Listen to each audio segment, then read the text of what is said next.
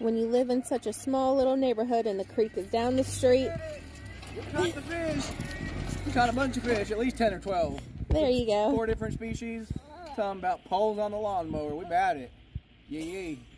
Did you have fun?